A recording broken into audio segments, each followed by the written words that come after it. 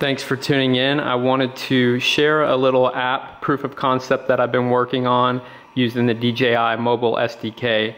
Now the idea is pretty simple in concept. It was to develop an app that will control the gimbal and take photos on interval so you basically have a 360 degree panorama that you can stitch together. Got back from the field, I want to show you how it works and the results and ultimately get some of you beta testing this app. Right now we have about 50 users that have been flying with it and testing it and the results have been good so far. So as you can see the app's pretty simple. You have your FPV view, your location, some status information up here, and then different buttons to control your gimbal.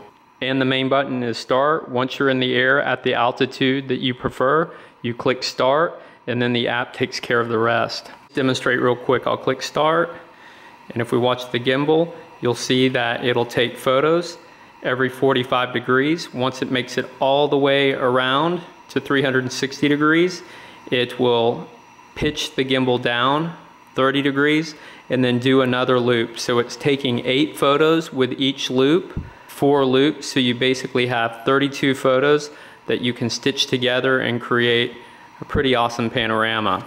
And you can see once it makes it all the way around, it'll rotate back to the start, pitch down another 30 degrees, and the 32 photos right now take about two minutes to do, and I've gotten feedback from several users that say you don't actually need that much overlap. You could probably change that yaw angle to about 60 degrees, so we're ultimately only taking 24 photos.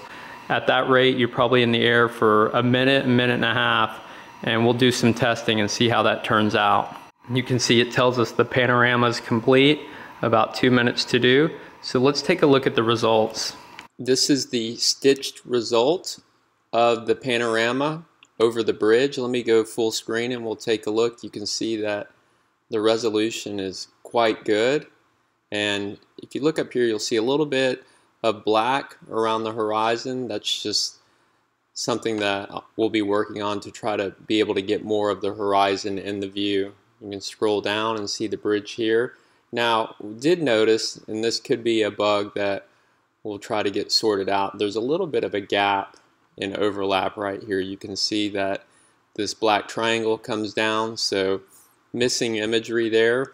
But lots of panoramas have been done. I'll show you one that I took over the weekend from the Port Aransas Community Rec Center, and it's actually really cool because I was visiting the skate park, and you can just see the clarity of that imagery from the Panorama app.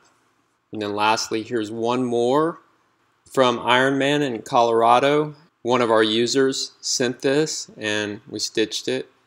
Turned out really good. I'll put the link to all of these panoramas below so you can check them out. Here's a quick time lapse of the Inspire 1 and the Panorama app running. You can see the gimbal yawing around while the Inspire 1 does a good job of maintaining location and altitude.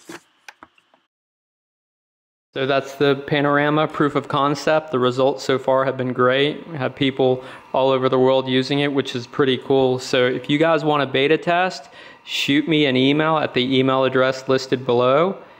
And definitely look forward to your feedback. We'll get this submitted to the App Store and get it out there. But right now it only runs on iPad for the Inspire 1. And I'm looking into being able to support the Phantom 3 as well as the Android tablet device. Just wanted to share that update. Hope you guys find it useful. If you have any questions or comments, please post them below. And until next time, thanks for watching.